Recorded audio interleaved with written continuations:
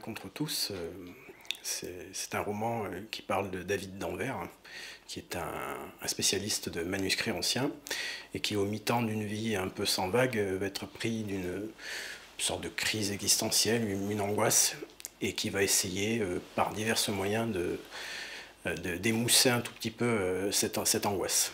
Ce qui me plaît dans les personnages de Loser Magnifique, bah, c'est cette espèce de, contre-emploi qu'on peut leur faire jouer.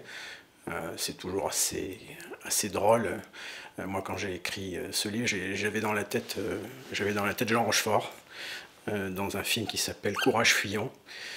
Et voilà, il m'a pas quitté tout le long. C'est espèce de, oui, c'est ça, de personnage qui est pris dans, dans, un, dans un tourbillon et qui, mais, comme ce n'est pas ce n'est pas Captain America, ben, il s'en sort comme il peut et, c'est souvent drôle. L'idée de roman, ben, en fait, ça part du titre.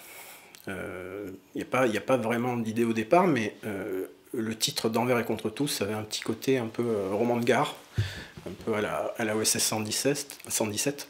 Et je me suis dit, tiens, voilà, on va parler de, de quelqu'un qui a des problèmes, mais ordinaires et du quotidien. Et puis est venue la première phrase qui est, me semble-t-il, je vais te tuer ou quelque chose comme ça. Comme je le disais, euh, bon, c'est surtout le cinéma. Euh, moi, j'ai dans, ma tête, j'avais Yves Robert Jean-Loup Dabadi qui ont fait quelques films dans les années 70 qui sont, particulièrement euh, truculents. Et puis, et puis bon, il y a la littérature que, je lis, qui est la littérature américaine, qui quand même prend, pas mal cette, posture au niveau des, personnages, des héros, notamment ça peut être Richard Ford comme euh, Philippe Ross, voilà, ce genre de ce genre d'auteur-là.